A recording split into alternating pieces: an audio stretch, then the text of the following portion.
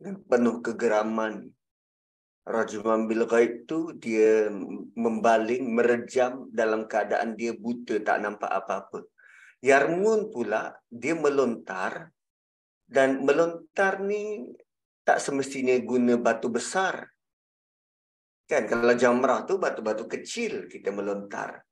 Dan melontar bukannya uh, dengan apa? Uh, ialah lontar, campak je. So kena-kena tak kena dah. Uh, macam tu lah. So Yarmun kita boleh kata sama ada tuduhan ataupun serkap jarang. Serkap jarang. Apa tuduhan dan serkap jarang dibuat kepada wanita-wanita yang bermaruah ni? Ha. So, apa sahaja bentuk tuduhan yang boleh mendatangkan aib, terutamanya berkaitan dengan maruah diri dia.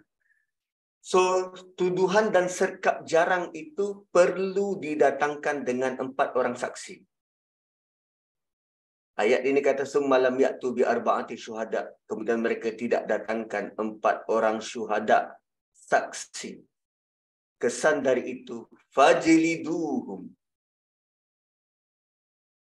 Fajliduhum. Ha. Um, apa nama? Um, kalau tuduhan yang dimaksudkan dalam ayat ini adalah Uh, menuduh perempuan baik telah melakukan zina. Dan itu tuduhan paling tinggi paling teruk. So setiap tuduhan itu kalau menuduh perempuan yang baik telah melakukan zina dia merupakan perbuatan yang besar. Perbuatan yang besar dan dia seolah-olah kita berperang dengan Allah so Allah tegur perbuatan ini tegur dengan keras perbuatan ini, datangkan empat orang saksi. Ya, datangkan empat orang saksi. Um, muhsanat di sini, ulama bersetuju um, merujuk kepada perempuan terutamanya.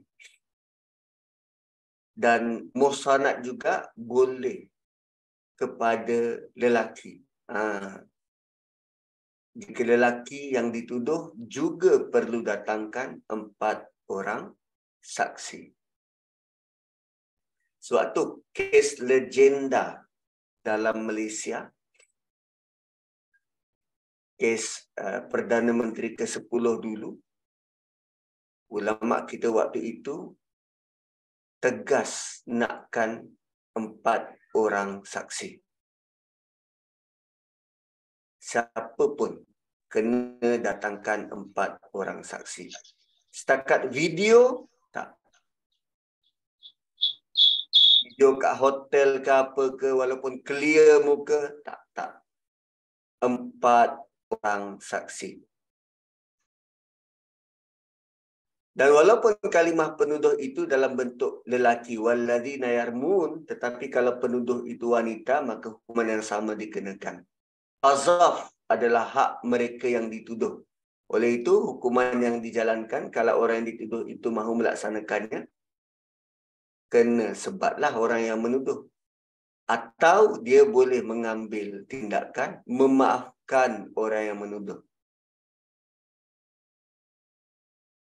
Ha, sebab Yarmun menuduh ini, hukuman menuduh ni tertakluk kepada orang yang dituduh. Kalau dia okey memaafkan, orang tu tak perlu dihukum sebat. Sebaliknya, hukum yang di atas, hukum zina. Hukum zina tu hak Allah. Walaupun penzina dimaafkan, hukum tetap berjalan.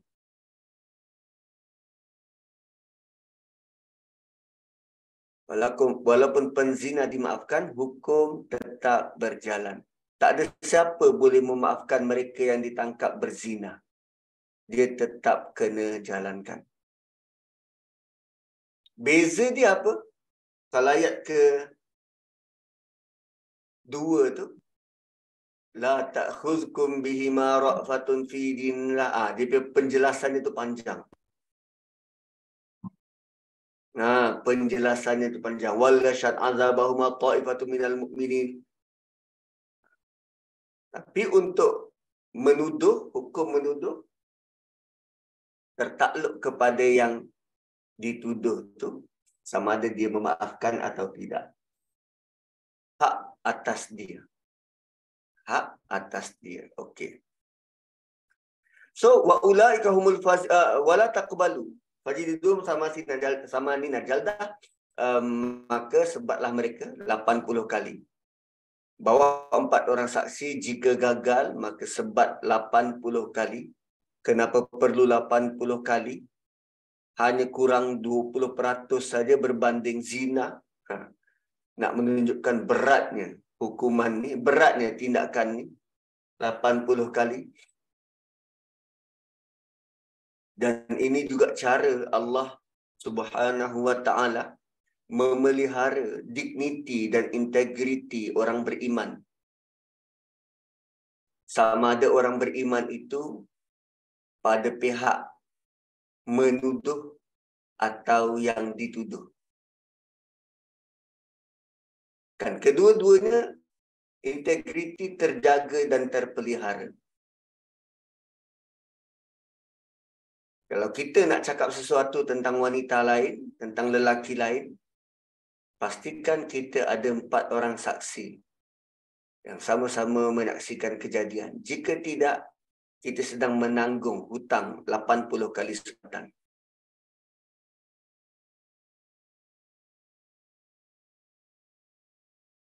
Kita mungkin boleh beralasan, eh, tak dikuat kuasa pun. Ah, iya. Manusia mungkin tak kuat kuasakan. Kita tahu ke Allah kuat kuasakan atau tak nanti di akhirat? Bayangkan setiap satu orang yang kita gosipkan Hmm, kan? Kita kan suka buat macam tu. Teka-teka, teka-teka. Jangan-jangan macam ni kot. Dah, dah hmm, macam tu. Ha. Setiap satu perbualan kita tu, kita berhutang 80 sebatan, 80 sebatan, 80 sebatan. Satu occasion kita duduk bersama, satu orang artis ke kita sebut? Tak. Kalau melodi tu, satu jam punya siaran, berapa orang artis terlibat tu? Ha, dari satu segmen ke satu segmen itu satu minggu. Melodi dah berjalan berapa lama? Kita mendengar. Bukti video tak tak memadai, tak mencukupi. Wih, menakutkan, menakutkan. Tuduhan-tuduhan. Yarmun, fi'il mudhari, continuous. Dari dulu sampai sekarang tuduhan-tuduhan itu. Ha. Tak tengok TV. Ah betul tak tengok TV. Tapi kita pergi kenduri ada cerita-cerita tu. Ha, sebab kadang-kala perbualan kita sekitar tentang manusia, tentang orang lain. Jarang sekali kita ah, jarang sekali kita pergi kenduri, kita cerita pasal oh, hebatnya Allah bina pokok tu. Atau eh, matahari cantiknya bersinar-sinar. Tak ada. Semua tentang orang. Kan pergi ke duri ni, dok tanya pasal Kak Syida, Kak Syida lambat datang. Ha, jangan-jangan kena rantai suami dia kot. Ah, tu kan tuduhan. Macam-macam kita boleh buat. Terutamanya berkaitan dengan aib. Sebab nanti bila tentang cerita Ifki ada perkara um, ingatan keras dari Allah berulang kali uh, terhadap mereka-mereka yang cepat uh, cepat nak nak beri komen, cepat nak beri komen. Dan Allah sendiri buat penyaksian wa ulaika humul fasiqun. Orang-orang yang suka menuduh ni orang-orang yang suka bawa tuduhan maka dia adalah mereka adalah orang-orang yang sudah rosak dalam dia fasik orang yang rosak individu yang rosak bagaimana dia digelar sebagai fasik kerosakan itu sudah um, sudah terjelma melalui perbuatan. Dia rosak dalam macam apple sebiji apple. Kalau dia rosak dari dalam kita nampak tak kerosakan tu? Tak nampak. Kita hanya tahu apple tu rosak kalau mula keluar ulat mula keluar ulat. Tuan-puan, kita ada nafsu amarah dalam diri kita ni. Nafsu amarah dalam diri kita. Dan kalau surah, apa nama? Uh, surah kiamah, kaitan dengan surah insan tu, surah kiamah, Allah perkenalkan pada kita, nafsu lawamah. Uh, kalau amarah nafsu yang suka buat benda yang tak elok, dia perlawan nafsu lawamah. Lawamah ni apa? Dia tak suka pada benda tak elok. Dia tak suka pada benda yang tak elok. Jadi kadang-kala kita ada buat pelanggaran-pelanggaran pelanggaran-pelanggaran hukum. Selalunya bab berbual ni lah, bab mengumpat, berbual buka aib ni. Dan waktu kita bercakap, waktu kita dengar, ada terdetik dekat hati, aku tak patut cakap macam ni. Ada rasa bersalah tu. Itulah nafsu lawamah. Itu nafsu lawamah. Tugas kita ialah untuk kenal pasti nafsu lawamah ni dan beri support. Beri support. Maksudnya mengiyakan rasa tak selesa, tak suka tu dengan bertindak. Apa tindakan yang kita boleh buat? Tengah-tengah orang bercerita, pap masuk cerita orang lain. Masuk cerita orang lain. So kita bangunlah buat apa pergi ambil air ke keluar dari circle tu. Ya, aku nak pergi toilet lah terus. Terus keluar dari circle tu. Bukan dalam bentuk, ah, orang ni suka betul lah mengumpat tanah lah aku. Tak, tak. Kita mengiyakan dulu nafsu lawamah kita ni. So, bila kita dok support dia lama-kelamaan nafsu lawamah ni akan semakin kuat, semakin strong. Nafsu lawamah ni yang bantu kita untuk selamat dari keadaan-keadaan macam tu. Ah,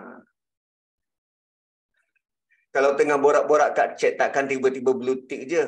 Oh minta maaf lah aku ada benda urgent nak kena buat ni. Sorry, sorry, sorry, sorry. Bye. ha, kan? Kalau dulu kita apa nama? Uh, uh, kan kita ada uh, akronim.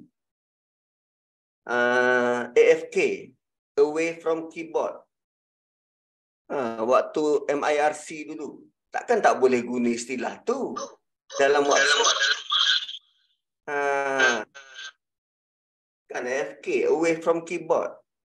Tak pernah tahu. Loh. MIRC kenal tak? MIRC. Ha, kan. So abbreviation ataupun apa apa benda-benda yang yang uh, uh, kata-kata singkat ni uh, benda tu kan berasal daripada orang-orang dulu. Ha. Ustaz, macam mana kita nak bersihkan hati kita dari bergosip selain dari bertaubat nasuha? Ada tak doa khusus berkaitan dengan perkara ni? Doa secara khusus tu saya tak tahu. Mungkin ada. Nabi uh, pernah mohon. Lazimnya Nabi selalu mohon 70 kali. Ya, ya muqalibal kulub sabit qalbi ala dinik. Uh, wahai yang menterbalikkan hati, maka tetapkanlah hati aku atas agamamu, atas jalan hidup ini. Um, selain daripada uh, kita nak elak daripada bergosip, uh, mungkin kita boleh kurangkan kot um, kita punya uh, apa nama kita punya duduk berlama-lama dengan manusia. Kan sebab bila kita duduk dengan manusia, kita akan cari jalan macam mana nak hidupkan perasaan tu, suasana tu. Kan, slowly pilih circle yang betul, kan. um, apa uh, cuba untuk um, menjaga lisan ialah kadang dekat office ni uh, kita sesama kita sesama staff ada staff yang uh, mungkin rajin ada staff yang culas jadi yang rajin ni akan kumpul sama-sama untuk kutuk staff yang lagi satu tu uh, itu pun salah juga tapi well benda tu kan menyeronokkan sama-sama gelak sama-sama ketawa sama-sama masuk neraka Ha, yang last tu yang tak difikirkan tu bila sama-sama masuk neraka memang tak nak lah kan. Tapi waktu tu rasa seronoknya lah gelak-gelakkan orang tu. Ha, gitu. So pernah waktu zaman Saidina Umar ada orang yang menuduh seorang sahabat berzina. Bayangkan orang tu punya berani. Dia menuduh seorang sahabat berzina. Benda tu kan berat. Tapi kemudian ditanya, ada saksi tak? Ada saksi lain? Maka mereka bawa saksi yang lain. Dan saksi kedua serta ketiga kata memang ada penzinaan berlaku. Saksi keberapa? Kedua dan ketiga. Orang yang bawa tu saksi pertama. So, saksi kedua, saksi ketiga. Tapi orang yang keempat, dia tak dapat pastikan betul ke zina tu benar berlaku? Kerana dia nampak lelaki dengan wanita tu je. Tak tak nampak apa-apa dah. Maka pertuduhan itu ditolak dan semua saksi disebat. Bukan hanya orang menuduh. Semua saksi. Why? Kenapa Umar buat macam tu? So, kalau dia tak tak hilangkan apa yang ada dekat kepala dia. Kan dia duk fikirkan, dia buat, dia buat, dia buat. Bila dia tak disebat 80 kali, dia tak hilangkan apa yang ada dalam minda dia. Selamanya dia akan rasa skeptik pada sahabat tu. Dan kalau dia tak hilangkan keraguan dia tu, nanti di akhirat hukuman lebih dahsyat akan kena. Kenapa perlu berburuk sangka pada orang beriman yang lain? Ha, iaitu kaitan dengan surah Hujurat. So 80 sebatan tu membantu, membantu kita, selamatkan kita. Supaya tidak mudah-mudah untuk buruk sangka sehingga keluar kalimat tuduhan pada.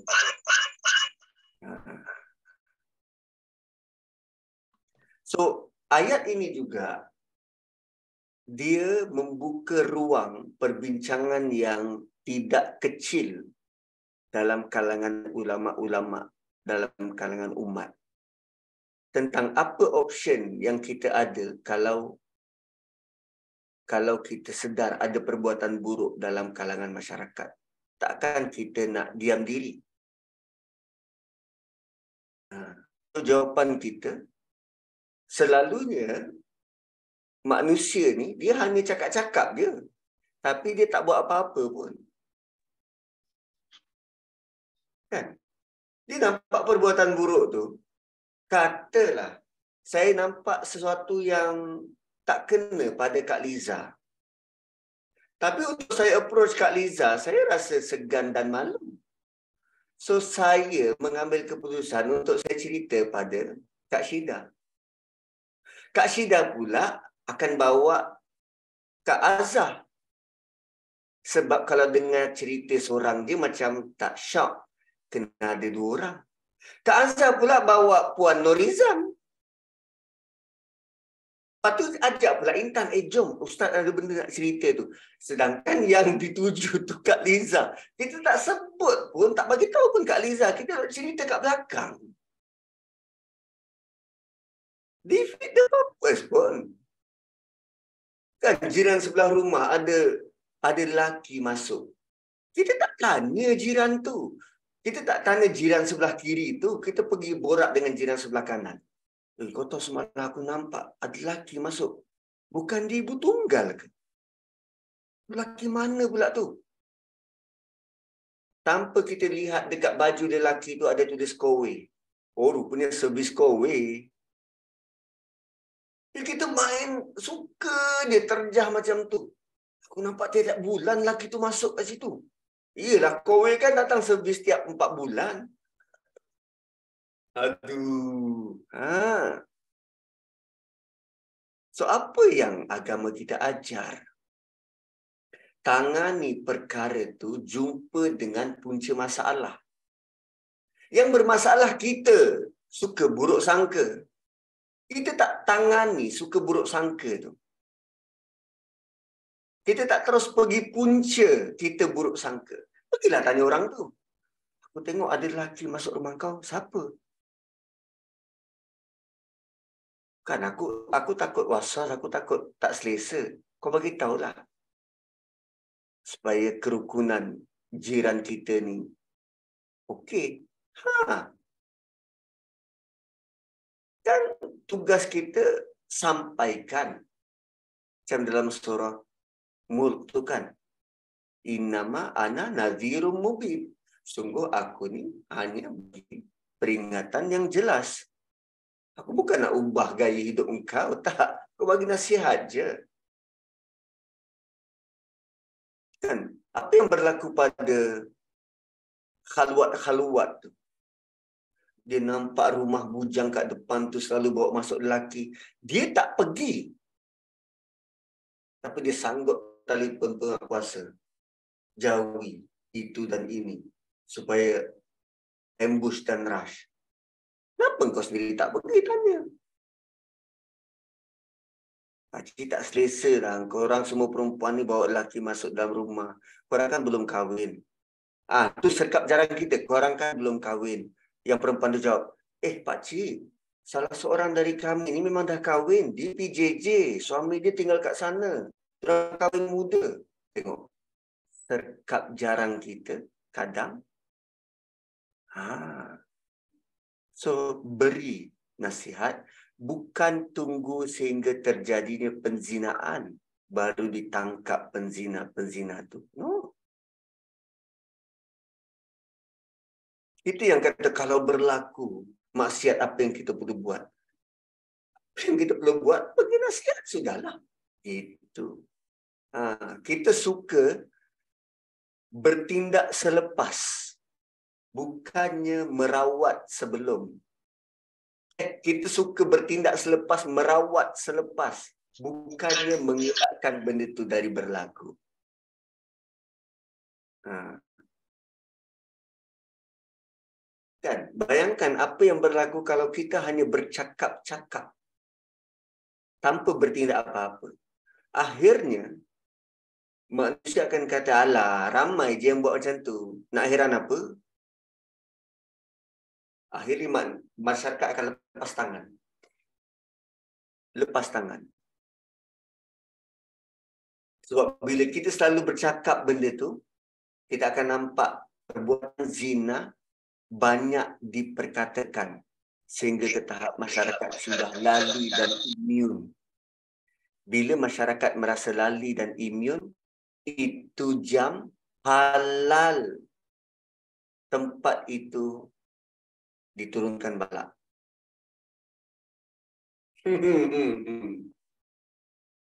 Bila masyarakat sudah imun dengan kerosakan, rasa tak apa, tak ada apa-apa dah, halal tempat itu turun balak. Ramai yang dia buat, apa salahnya? Itu. Yes, sangat bahaya kalau kita ignore.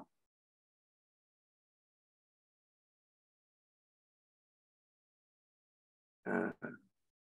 Okey, kemudian um, wala taqbalu lahum syahadatan abada, jangan terima penyaksian mereka selama-lamanya, mereka tidak dipercayai dan wa ulaika humul fasiqun, mereka adalah orang yang rosak.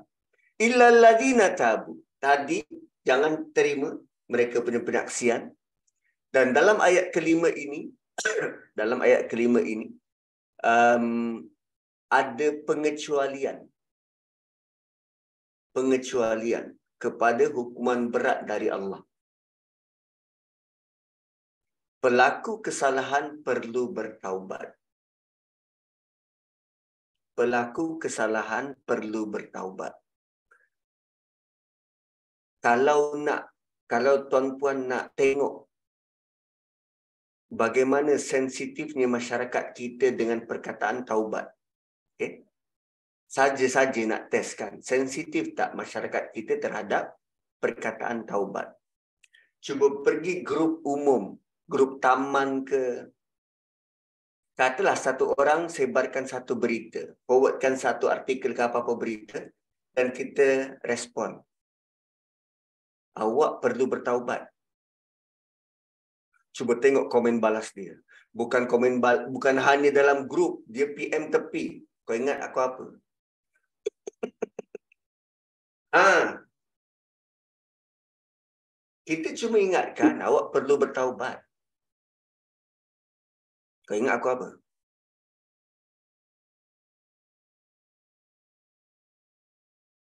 Ha kenapa ayat ni tak terus bersambung dengan ayat sebelum ini.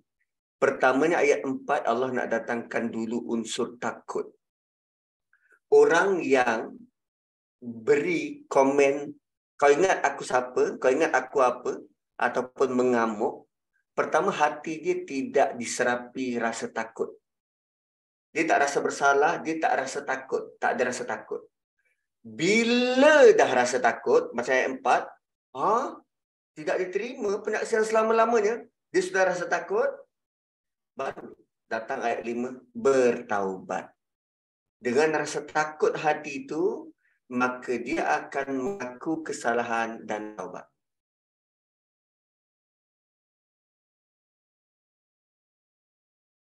Kita bertaubat, kita tak bertaubat sebab kita tak rasa salah. Kita tak rasa takut.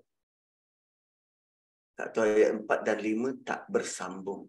Allah datangkan dulu rasa takut, rasa menyesal, rasa bersalah. Rasa kita ni dah teruk dalaman, barulah Allah beri exceptional. Illa alladhina tabu min ba'ni dhalik. Kecuali orang-orang yang bertaubat sesudah dia melakukan semua itu. Hukuman teruk macam mana pun di, di, di, di apa dikenakan dijanjikan kepada pelaku qazaf. Qazaf ni apa? Tuduhan. Ha, tuduhan. Ini tentang qazaf lah ni, orang yang menuduh perempuan lain berzina. Hukuman teruk dijanjikan kecuali jikalau mereka bertaubat. Dan Allah bagi tahu, Allah yang Maha Pengampun dan masih lagi boleh menerima taubat asalkan mereka nak bertaubat. Maka kalau sudah buat kesalahan, ada jalan, ada optional. Hendaklah mengambil optional yang ini, peluang ini untuk bertaubat kepada Allah. Itu penyayangnya Allah. Namun bertaubat kepada Allah saja tidak memadai. Dia perlu buat wa aslahu wa aslahu. Islah ni apa? Perbaiki keadaan. Perbaiki keadaan. Kau tuduh wanita tu berzina. Diancam untuk dihukum, engkau bertaubat. Selain daripada bertaubat, engkau perlu kembalikan digniti wanita. Buat pengumuman dekat halayak, tuan-puan, saya pernah buat tuduhan begini dan begini aslahu ni contoh dia dalam surah Yusuf. Wanita-wanita yang mengaku mereka lah yang menggoda Yusuf. Itu aslahu. Buat pengumuman dekat uh, Facebook rasmi jabatan. Mohon ampun dan maaf kerana buat tuduhan-tuduhan kepada Perdana Menteri ke-10 tuduhan-tuduhan fitnah. Bayangkan ada beza tuduhan-tuduhan yang kita buat atas kesedaran kita sendiri dan pengakuan yang kita buat atas arahan mahkamah. Ada beza. So, ayat keempat boleh jadi, ayat kelima boleh jadi atas arahan mahkamah. Kau kena bertaubat dan aslahu perbaiki keadaan.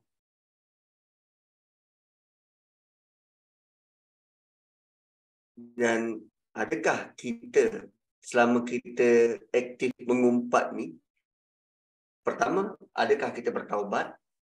Yang kedua adakah kita melakukan islah?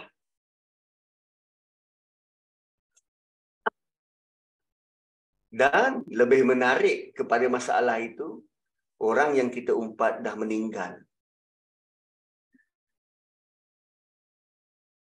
wow Iaitu sempena Ramadan, biar hati yang penuh iman berbicara. Islah, perbaiki, ubah.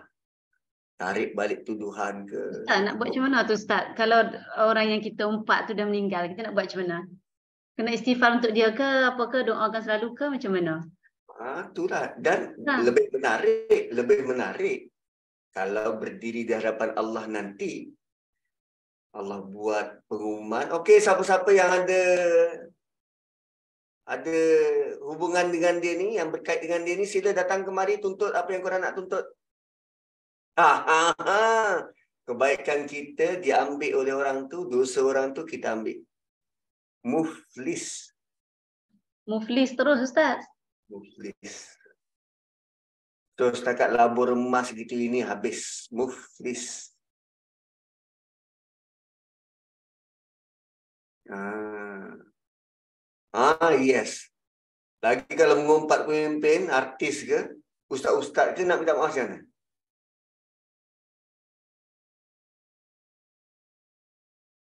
Ah. Well, basically, orang tu tak pernah kisah pun, tak pernah tahu pun kita mengumpat dia. Tapi yang jadi beban ialah buku catatan amal kita ada. Rekod tu ada. Hmm. Kita tak perlu buat banyak pun. Hanya guna lidah je. Habis. Habislah pokok-pokok itu menjadi waris kepada orang lain pula. Kita dapat pokok zakum je lah. Hai, na'udzubillah. So yang kita kata, oh aku Ramadan kali ini nak tumpukan pada Quran, nak tambah amal. Rupanya amal yang kita buat penat-penat Ramadan tiap tahun. Hanya dengan kesalahan sedikit lidah kita. Orang lain punya habuan. Ui, menakutkan. Menakutkan. Itu sengaja senario-senario itu dibuat supaya hati kita takut dan cepat-cepat nak kembali ya Allah aku nak bertaubat yang aku nak bertaubat. Benar-benar bertaubat. Lalu tambah baiklah. Siapa yang kita pernah mengumpat artis itu. Carilah jalan macam mana nak pergi jumpa dia. Siapa? Angelina Jolie apa artis antarabangsa artis tempatan Putri Sarah Ha. Kan? Wow. Tapi selagi mana selagi mana orang tu tak tahu dia masih lagi antara kita, perkataan kita, sesama kita dan Allah. Melainkan kata-kata kita benar memberi kesan pada kehidupan dia. Yang itu kita kena minta maaf pada dia lah. Cuma komen-komen yang uh, kita punya kita kita punya level mengumpat sekarang kan lebih lebih advance. Sebarang komen kita dekat satu laman dunia. sosial. Dalam satu ha. satu dunia tahu. Satu dunia. Israel boleh koyak kot dengan kata-kata kita. Ha. Kalau cuma terdetik di hati tentang orang tu, Allah kata seboleh-boleh buang. Allah tak kira, belum dikira sebagai mengata, tapi Allah kata ijtan ibu, buang. Elakkan, buang.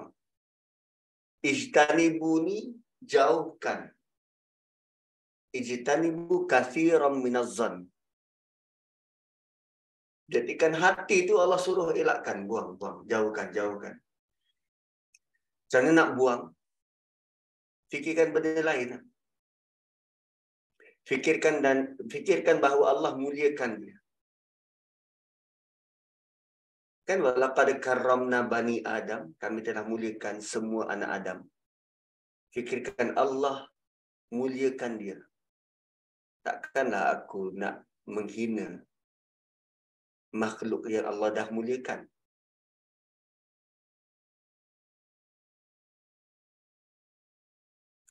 Kita mungkin berseorangan dalam hal ini. Ada banyak masa kita mungkin berseorangan dalam hal ini. Terutama ni dalam circle-circle kita. Kita seorang-seorang yang akan buat macam tu. Tak kala kita berusaha nak bertaubat ni. Tapi teruslah, terus. Terus istiqamah. Ha.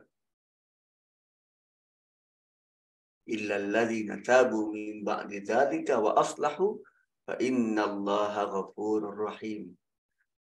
Dan usaha kita itu Allah akan buat timbang tara kerana Allah maha pengampun lagi maha pengasih.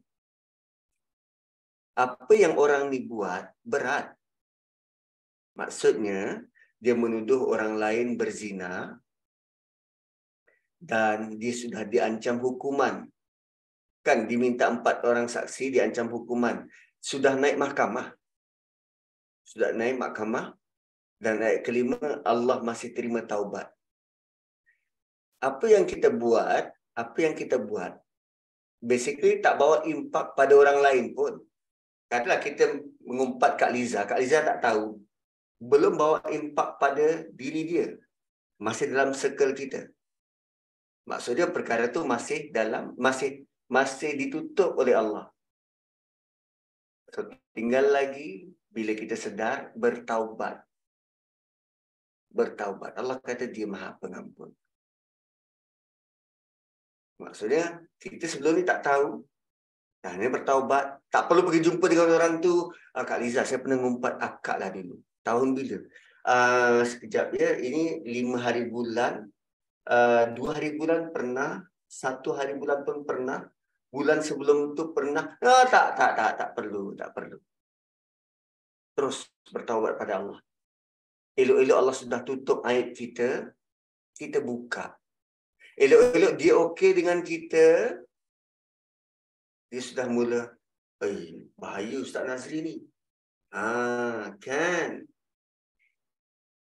Ah, biar di antara kita je. Dan lebih molek kalau kita ada circle kita dan kita tadabur bersama ayat ini bersama circle kita. Weh, aku rasa kita kena berubah lah. Ayat ini menakutkan, mengerikan. Kita kena berubah supaya kita tak kita tidak lagi sembang-sembang terhadap aib orang. Apa kata kita sembang pasal pokok tauge atau pokok maman. Kan? Atau sembang-sembang pasal apa? Pasal kereta ke? Pasal rumah ke? Pasal kebaikan orang ke? Ah. Yes, apa saja kesalahan kita, kita taubat kepada Allah. Kan fasbir fasabran jamil mengadu saja pada Allah. Sembang saya ayat Quran ke? Ha. Benda tu lebih apa? Lebih elok untuk akhirat kita. Lebih elok untuk akhirat kita. Um, semalam saya ada kongsi dekat uh, apa nama rakan-rakan dari Brunei tentang um, doa tentang doa. Uh, salah seorang daripada hakim uh, uh, tilawah antarabangsa Malaysia ni dari Mesir. Dari Mesir ke daripada Yaman? Dari Yaman kot. So dia bagi nasihat dia kata macam ni. Ajaibnya manusia ni bila dia minta minta doa. Dia tak doa sendiri tapi dia minta pada orang.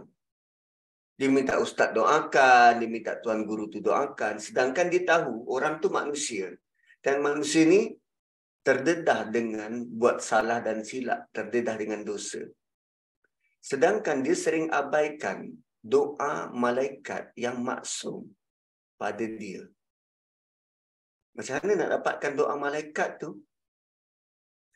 Um, caranya ialah selepas kita solat, kita masih kekal duduk dan berzikir.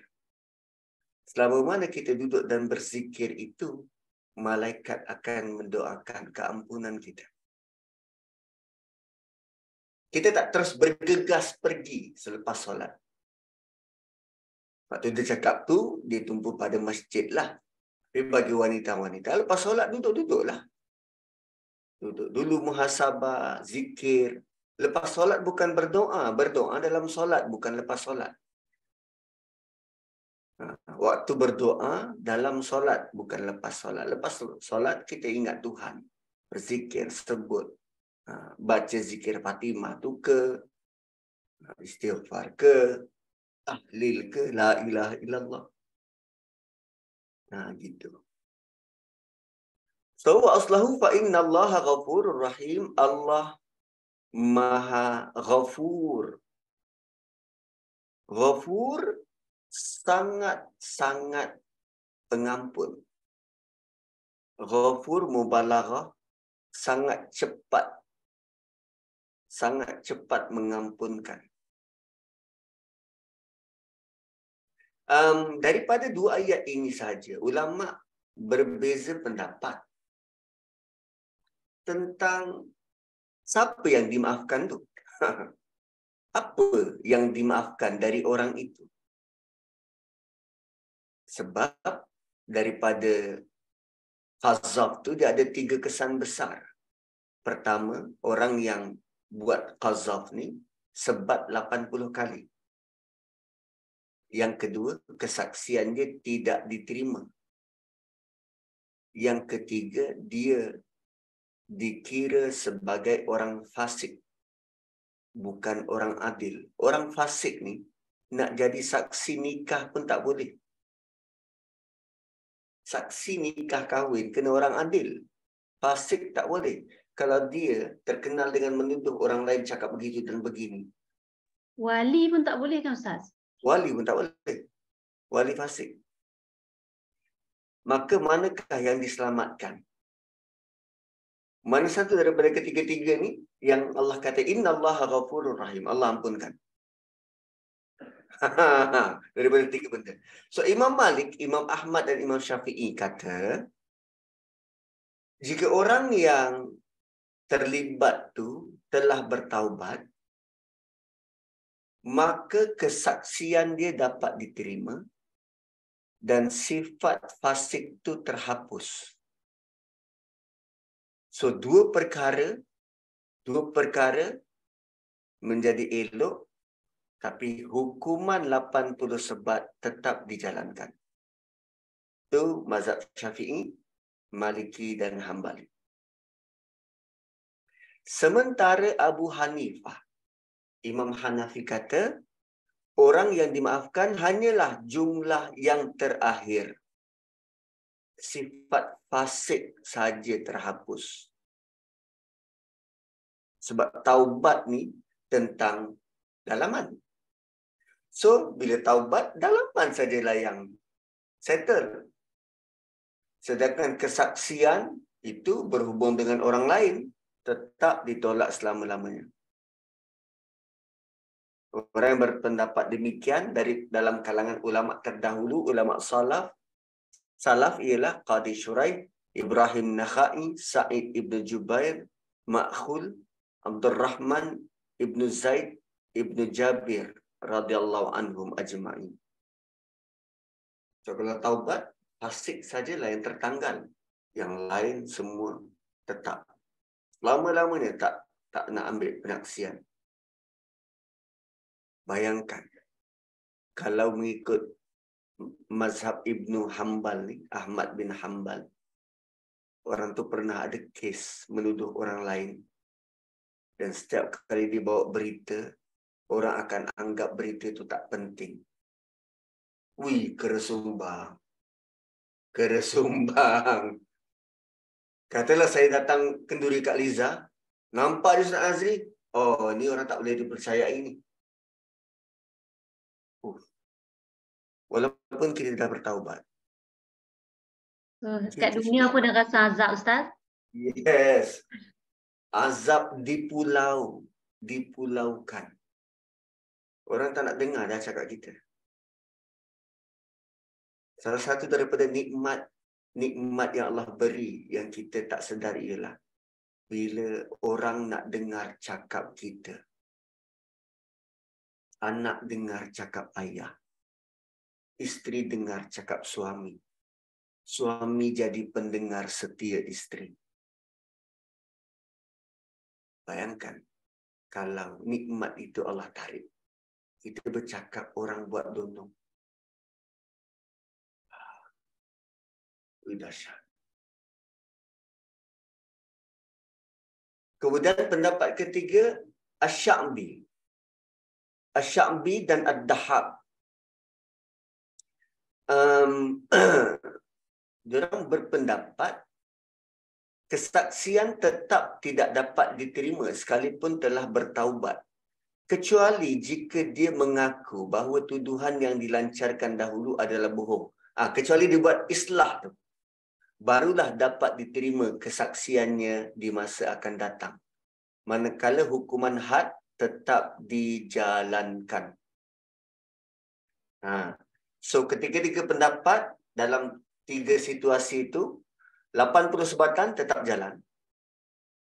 Cuma empat fasik empat fasik ketiga-tiga setuju terangkat empat penyaksian. Ha, penyaksian tu berbeza. Bagi Imam Syafi'i boleh boleh terima. Imam Ahmad bin Hanbal tak terima. Syakbi Ad-Dahab diterima dengan syarat dia buat islah. diterima dengan syarat dia buat islah. Okey. Apa berlaku kalau dia tak ada saksi? Tapi dia terpaksa tuduh. Terutamanya dalam kes suami isteri. Maka ayat 6, 7, 8, 9, dan sepuluh. Ha, itu di ayat-ayat dia. Suami nak tuduh isteri. Ini ini adalah hukum yang keempat. Kan bila suami suami isteri duduk sesama sendiri dan tak ada saksi untuk perbuatan zina. Dan kali ini dia dipanggil hukum li'an. Saling melaknat li'an um, kita dah lalui ayat dekat surah mana tu? Surah Surah Ar-Rijalu Qawwamuna 'ala Nisa. Surah Nisa. Kan wa in khiftum uh, shiqaq bainihima. Eh wa in khiftum yang nusyus ayat nusyus tu. So um, suami dia takut, dia sangat takut kalau isteri dia curang. Setelah dia buat semua benda dalam ayat nusyus tu. Setelah dia buat semua benda dalam ayat nusyus dan terbukti isteri dia tetap tak nak balik pada dia. Tak tetap curang.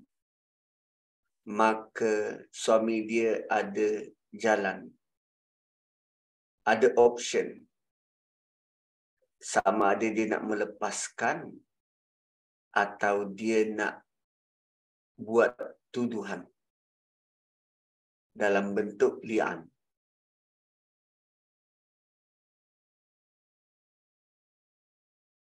Suami boleh dia cerai isteri. Kalau ternyata isteri dia dah tak hormat, curang kan. Tapi yang ini dalam keadaan ekstrim. Dia tak nak lepaskan tapi nak meninggalkan kesan. Ialah manusia ni bila dia dah sangat geram dia akan sanggup buat perkara yang akan menyusahkan. Menyusahkan. Sebab kesan daripada li'an, suami isteri itu takkan boleh berkahwin semula selama-lamanya. Walaupun melalui Cina buta, tak boleh. Ha, dia takkan boleh kahwin selama-lamanya. Walaupun Cina buta.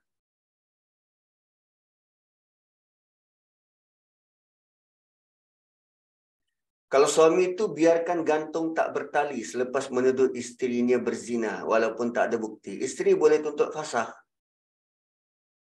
Isteri boleh tuntut fasah. Ajukan kepada mahkamah apa yang suami buat. Sering tuduh isteri dia berzina walau tak ada bukti.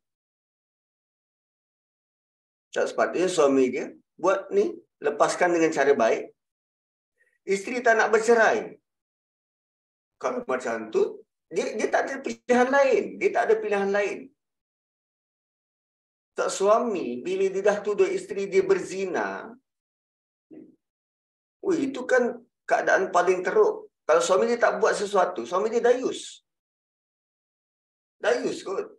Masuk neraka. Dan kalau isteri tak nak bercerai, ah, biarlah suami dia masuk neraka. Dayus. Dia tak buat sesuatu. Maksudnya hubungan suami isteri itu dia berakhir dengan harmoni, kerjasama, seiring sampai ke syurga. Hmm. Betul isteri tak buat, tapi tuduhan daripada suami itu berat. Nah, tuduhan dari suami itu berat optionnya dia buat lian, sumpah lian. Selepas sumpah lian, dua-duanya farak sampai bila-bila. Atau suami kena buktikan tuduhan. Atau ceraikan. Perkataan-perkataan semacam itu dia punya impak. Yang suruh ni Allah, bukan saya, bukan ulama. Yang suruh buat ni Allah. Ha. Tak mungkin suami dia provider dalam keluarga. Isteri dia tak bekerja mungkin. Dia tak boleh nak buat apa. Ha. Kan? So ayat 6 walladzina yarmuna azwajahum wa lam yakul lahum syuhada'u illa anfusuhum fashahadatu ahadihim arba'u shahadatin billahi innahu laminas sadiqin. Dan orang-orang yang menuduh isterinya walladzina yarmuna azwajahum orang-orang yang menuduh pasangannya. Dan ini hukum berkenaan suami tuduh isteri telah berzina. Sama ada dia nampak telah berzina atau dia syak isteri dia berzina ialah mungkin anak yang keluar, isteri dia mengandung, tak serupa dengan dia. Dia mungkin kerja offshore, enam bulan, enam bulan. Padahal enam bulan dia tak pernah bersama dengan isteri dia pun. Balik-balik isteri dia mengandung tiga bulan. Apa kes? Dan dia ada syak yang kuat. Yang itu bukan anak dia. So penyelesaian untuk masalah ini adalah seperti kalau ikut hukum qazaf sebelum ni penuduh tu kena datangkan empat saksi. Kalau tak 80 kali sebat. Kali ini Allah beri option berbeza.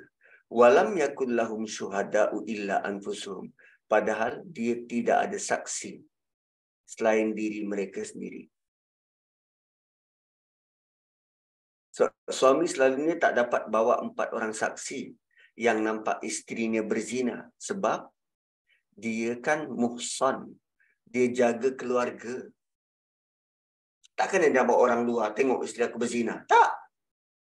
Dia yang bina kubu tu. Dia menjaga. So keadaan ini sangat sukar untuk dilakukan.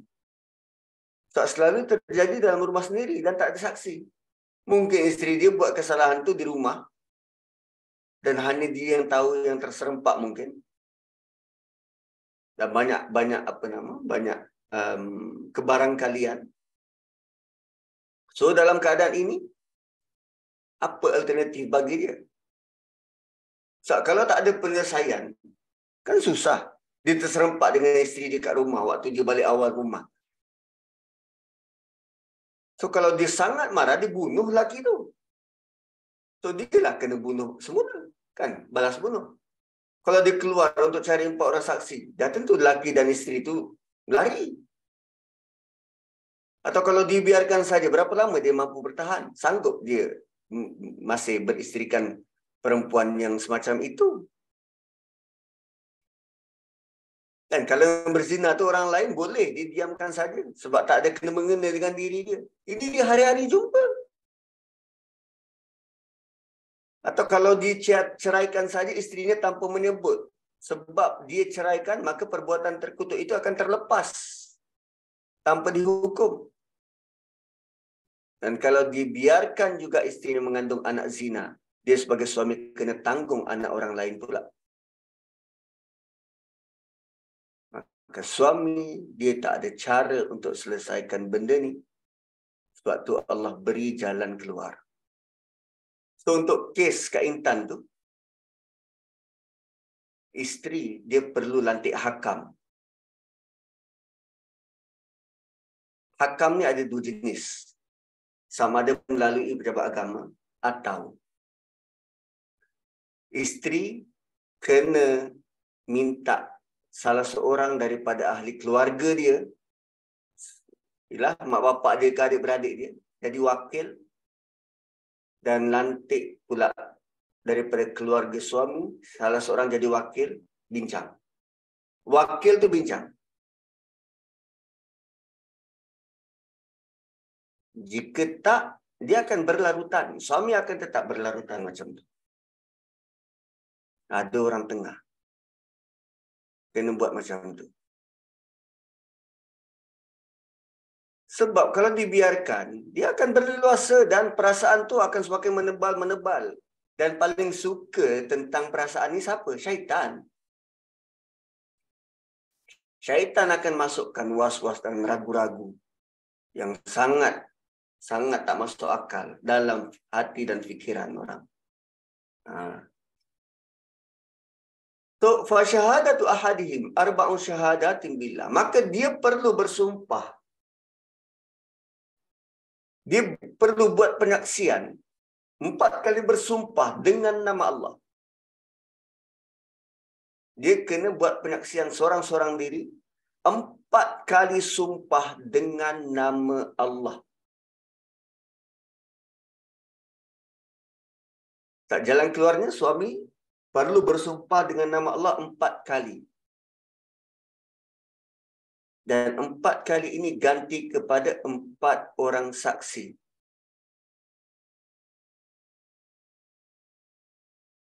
Empat kali, empat orang saksi. Sebagai ganti, empat orang saksi. Sebab jika suami tidak bersumpah, kan suami dah lemparkan tuduhan. Kau ni berzina ni. Oh, abang tuduh eh. Abang ada empat orang saksi? Tak ada. Sanggup sumpah? Sumpah lian? Tak sanggup. Abang kena sebat.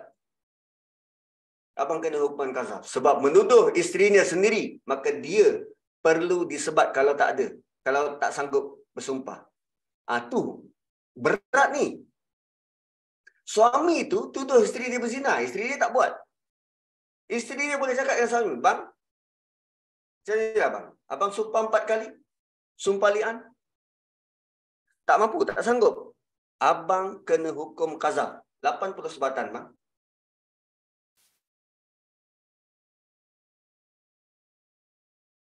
Sebab tu nak menuduh ini. Berat. Zina ni berat.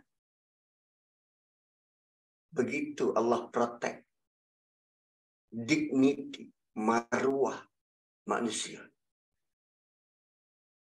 Dia tak mudah-mudah. Dan satu kali sumpah. Dan empat kali sumpah. Innahu laminas sadiqin. Dia bercakap benar. Jika isteri sabit kecurangan dan suami ceraikan, Bolehkah suami ambil balik harta yang diberikan pada isteri tersebut, Ustaz? Ah, tu tak tahu. Tak buruk siku ke itu? Sudah bagi ambil balik. Macam buruk siku ke itu? Jika isteri telah memaafkan. Serkap jarang tu dah tadi kita sebut yarmun, yarmun tu. Itulah serkap jarang. Dia, suami isteri, dia bukan pada level, abang ada bukti. Tak. Abang tuduh saya, sekarang ni abang bawa saksi, empat orang. Bukan minta bukti. Allah suruh saksi. Kalau mahkamah dunia, dia nak bukti. Allah nak saksi. Empat saksi. Tak ada bang. Sumpah bang, empat kali. Bahawa apa yang abang cakap tu benar. Sumpah atas nama Allah. Bahawa apa yang abang cakap tu benar. Tak sanggup bersumpah. Abang layak di berat. Ya, di sebat. 80 kali.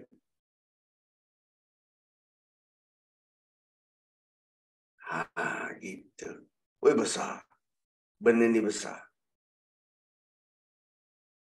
Jika isteri telah memaafkan suami, adakah suami terselamat dari hukuman sebat? Ya. Itu tadi. Bila disebut ini, hak orang yang dituduh. Berbeza dengan zina tadi. Hak Allah. Abang dah layak kena sebat, bang. Tapi kerana saya isteri penyayang, saya sayang keluarga ni, saya sayang abang. Saya maafkan abang. Dah jangan buat lagi no. Dish, satu kali. Tempeleng kepala satu kali. Ah, saya pun minta maaf bang. Hmm. Itu. Ha, manusia nak bukti. Allah nak saksi.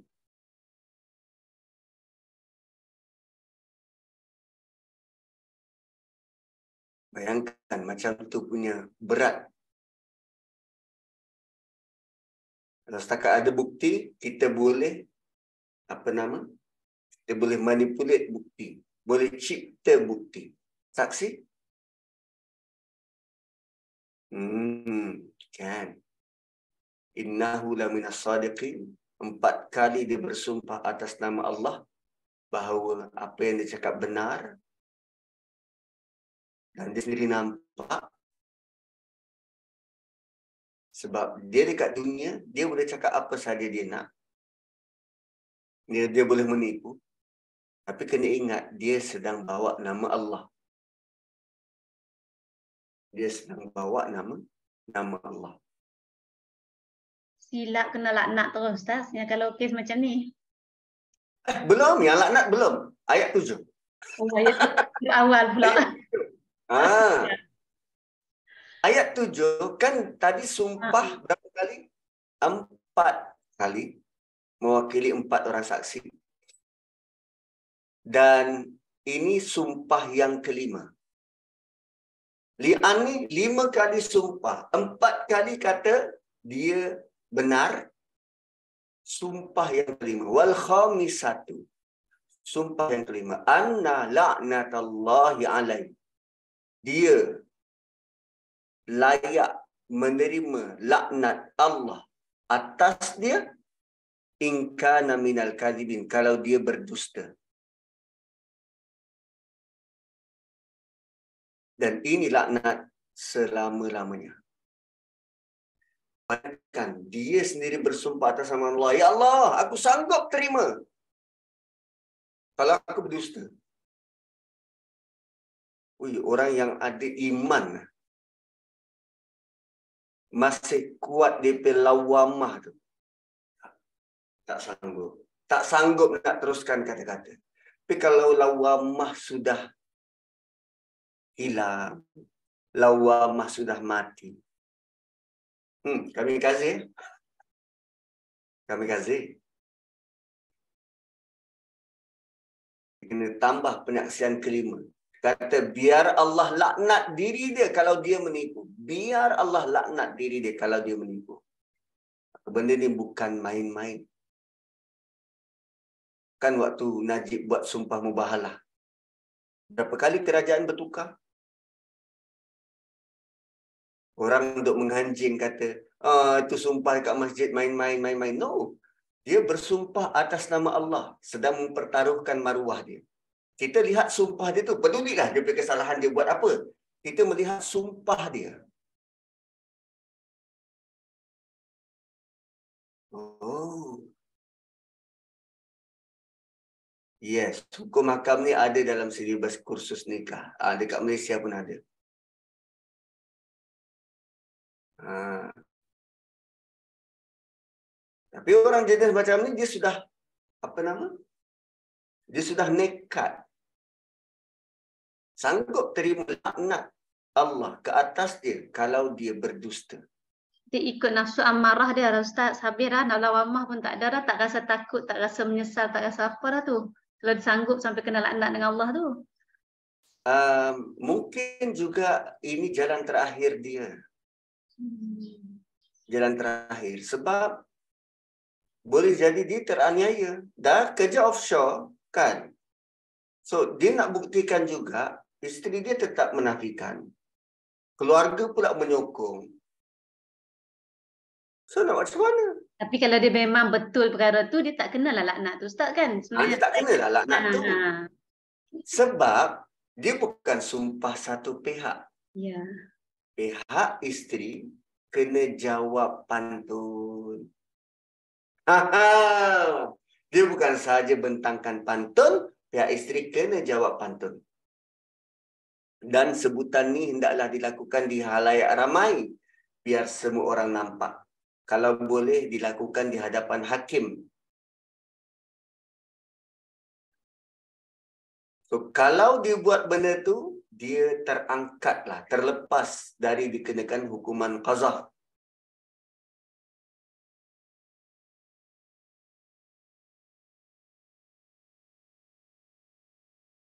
So, kesan kesan lian maka isteri yang dituduh tu secara automatik tercerai darinya selama-lamanya. Talak selama-lamanya. Dan ini menurut pendapat Imam Syafi'i. Dan haram baginya untuk selama-lamanya mengahwini bekas isteri dia tu. Dan kalau masih ada mahar, dia wajib lunaskan mahar tu. Dan akhirnya, bekas isteri itu dikenakan hukuman rejam sampai mati.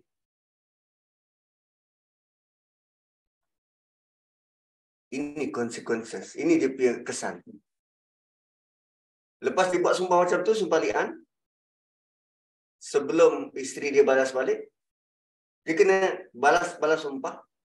Kesan dia, perempuan tu kena rejam sampai mati. Ini adalah kerana istrinya itu telah sabit melakukan zina dan hukuman. Walaupun dia balas balik tu, balas balik tu hukuman bagi penzina muhsan adalah rejam sampai mati. Dan bekas isteri ini itu tidak bertindak mempertahankan diri. Kalau isteri dia tak nak jawab, dia dikenakan hukuman mati.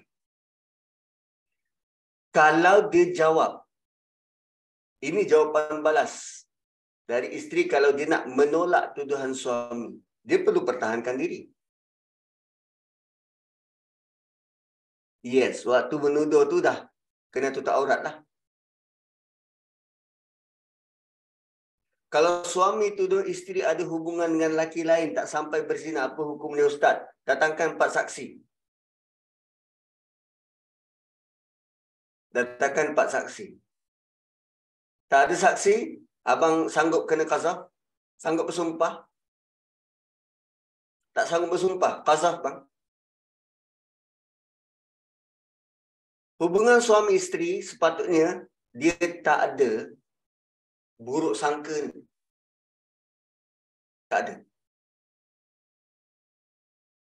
Komunikasi is the key. Bukan tuduhan. Perbincangan.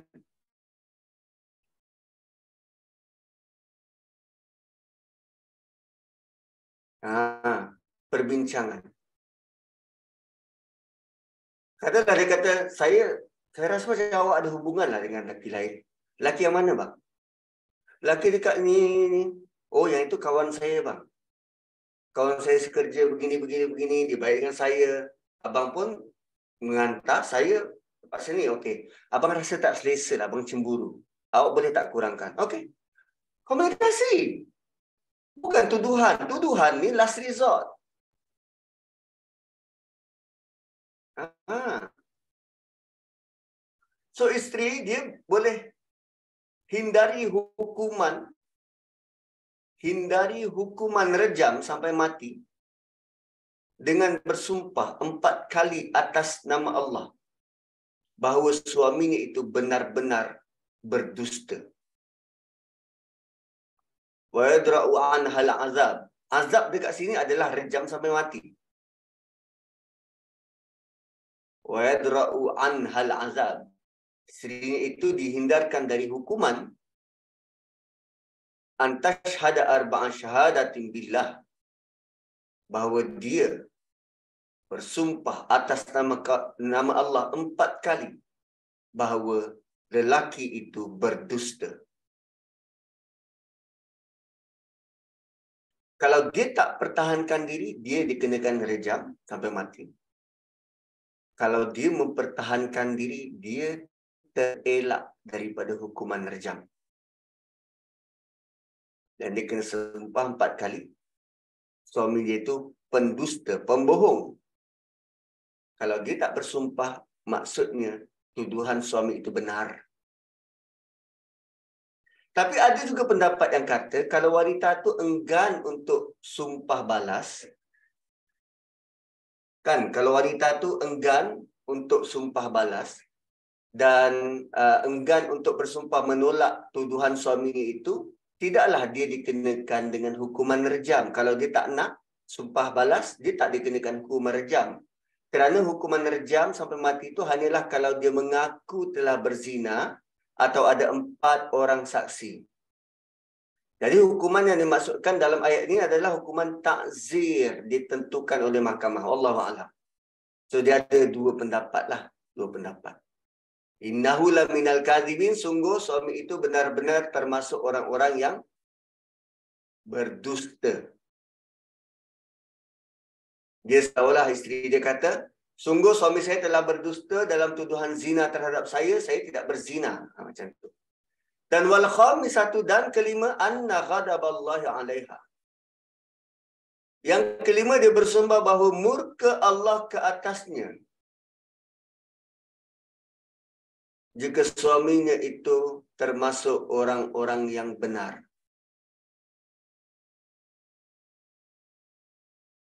Suami, yang kelima suami kata, dia bersedia dilaknat. Tapi untuk wanita, yang kelima, kemurkaan Allah. Ui, ada beza besar tu. Sumpah kelima ni isteri tu kena kata biarlah murka Allah ke atas dirinya kalau suaminya itu berkata benar.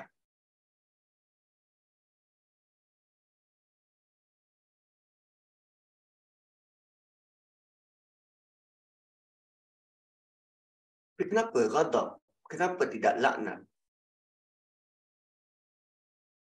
Kan wal khamisata anna ghadaballahi 'alaiha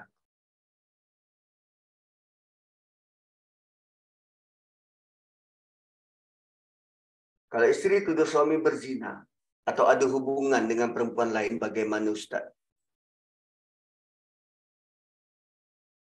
Um, ada bukti ada saksi? Kalau ada saksi, datang saksi. Kalau tak, reportlah ke mahkamah. Reportlah pada penguat kuasa.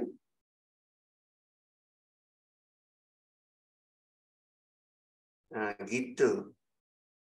Al-khamisata anna ghadaballahi 'alaiha in kana min as-sadiqin.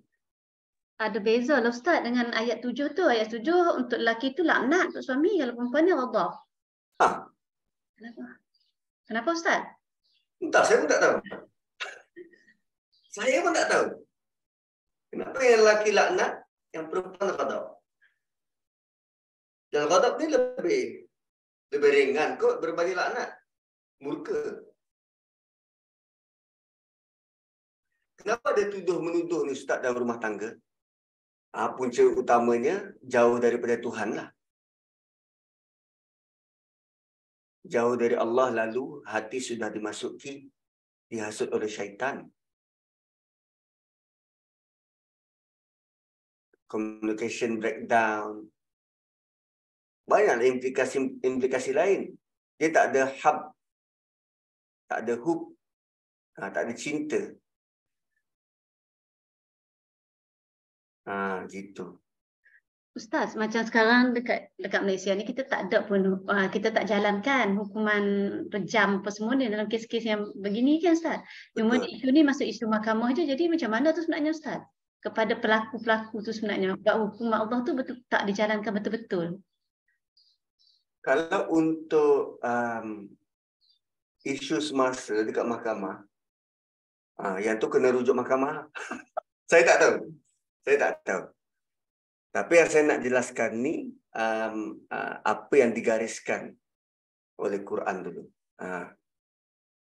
So 10.27 kita sambung lain kali. Saya ada majlis sebenarnya dengan Qatar Charity 10.30. So saya minta diri dulu. Um, dan apa nama? InsyaAllah kita akan um, berjumpa lagi. So bab mahkamah saya cuba dapatkan daripada apa nama? Uh, peguam syariah ah, bentuknya macam mana kalau bab yang lian macam ini tapi tak tahu ada ada tak kes yang macam ni berlaku dekat Malaysia tapi yang pasti um, uh, ayat Quran terutamanya uh, sampai ayat ke-9 ni uh, begitu jalan keluar yang Allah berikan pada kita wallahu a'lam Alhamdulillah Ustaz, uh, soalan pun Ustaz dah jawab-jawab dah. Uh, apa dalam kita duduk kelas tadi, Ustaz dah jawab dah soalan-soalan. Ibu Ustaz pun ada kerja. Terima kasih banyak Ustaz. InsyaAllah kita jumpa lagi minggu depan. Bersama best Ustaz. Tadi, tadi hukum, hukum hakam sebenarnya dalam tambah sebab ini melibatkan rumah tangga kan. Kadang-kadang kita memang kita macam kami ni kalau tak belajar memang tak faham lah. Banyak lah bila Ustaz sentuh tu, aduh sentak-sentak banyak lah sebenarnya. Sebab dia buat juga benda. banyak yang kita tak tahu. Jadi mohon ampun jalan istighfar pada Allah kan. Jadi terima kasih banyak Ustaz. Uh, Ustaz boleh keluar dulu. Kita akhiri dengan tasbih kafarah.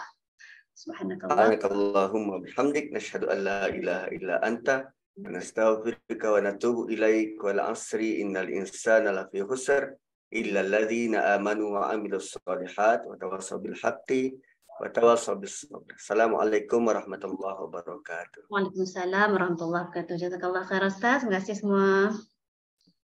Terima kasih. Ustaz, sorry Ustaz tak dapat. Uh, dia punya problem lain ni pagi ni insyaAllah. Ya, tak apa, so, tak, tak apa. Dah ada kata so Kak Syida? Okey Kak Syida, dengar dengar suara.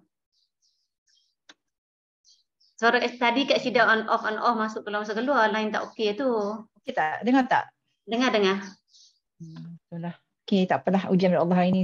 First time lah kena macam ni sampai sampai ke hujung dia tak dapat nak fokuskan. Tajuk best pula uh, tu. Hmm, pula memang tak tahu apa yang tuliskan sikit-sikit je masuk kan tak apalah. InsyaAllah dengan rekaman nanti kan. So, so insyaAllah kita jumpa lah esok ya uh, untuk sesi Ustaz Kubat pula esok uh, sambungan sirah. So insyaAllah macam mana ni nak, nak, nak, nak, nak offkan dia pun tak nampak button. tak, tak naik ke? Tak, tak, tak, tak, tu dah tak, tak tahu. Tak, tak, tak, dia punya Kak Syida nampak tak? Muka Kak Syida nampak tak? Nampak, nampak. Okay, Kak Syida jumpa lah.